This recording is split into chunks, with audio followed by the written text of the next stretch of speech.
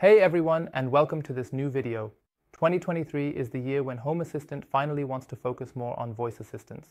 And I thought, before the year is over and we look back at what happened during the year, let's first take a look at the current status, which project Home Assistant wants to collaborate on, and what features might already be available.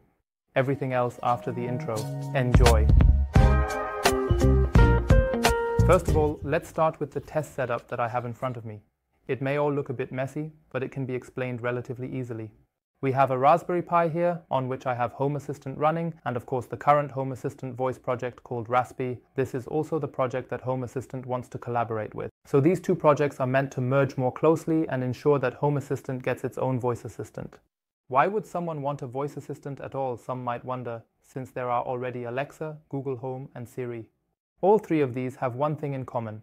They are dependent on the cloud. And that is exactly what Home Assistant is trying to achieve locally. Rhasspy is the project that works best in a multilingual context and thus functions reasonably well in the German-speaking area. That's why I have already installed it here and additionally integrated the good old deCONZ stick for Zigbee functionality into Home Assistant. Connected to it is a lamp so we can easily see what is happening, which is currently turned on. Then we have my good old headset here, which I am currently using simply as a speaker. It is connected via a jack and of course you could connect any other speaker to it as well.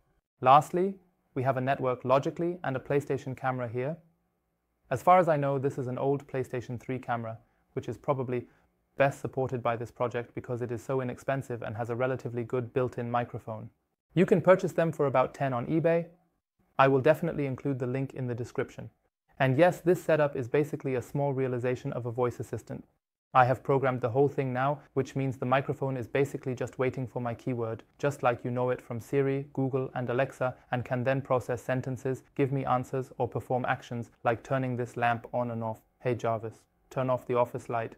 Hey Jarvis, turn off the... Hey Jarvis, turn on the office light. As you can see, it works somewhat decently. However, and this is also the reason why I didn't include it in this video, you need to configure quite a bit on both Home Assistant and Rhasspy for this connection to work as you have seen here.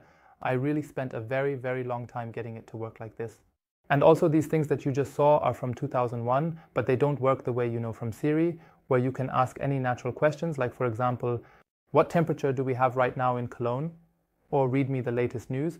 But you really have to integrate every single voice command independently.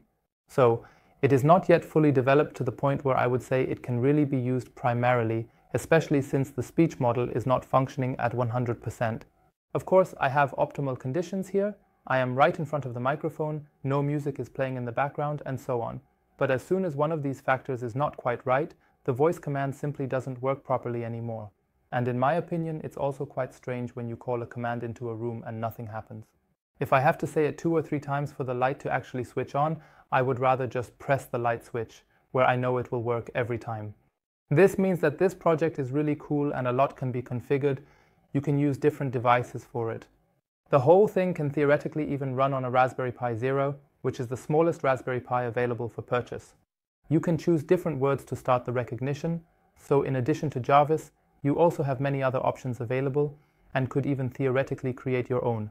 There are different speech-to-text and text-to-speech variations, including Google WaveNet, which will probably work best, but of course it is again connected to the Google Cloud, which somewhat undermines the purpose of having a local Home Assistant. You can send the commands directly to Home Assistant, as in my case, or you can also have it send MQTT commands allowing you to implement control through Node-RED or even your very own project. And of course, the main factor is that everything is available locally I will definitely put the link to Rhasspy in the description so you can check it out yourself and if you're interested, set it up on your own. Additionally, I will include my Docker Compose file which works wonderfully with this PlayStation camera and the Raspberry Pi. And if you say you really want a guide, then I will create one for you in a separate video. But it's a bit more complicated to configure, I'm just warning you. But that should be it for this video. I hope you enjoyed it and maybe even found it helpful. If so, I would of course be very happy about a review, and then I would say, see you in the next video. Until then, take care and goodbye.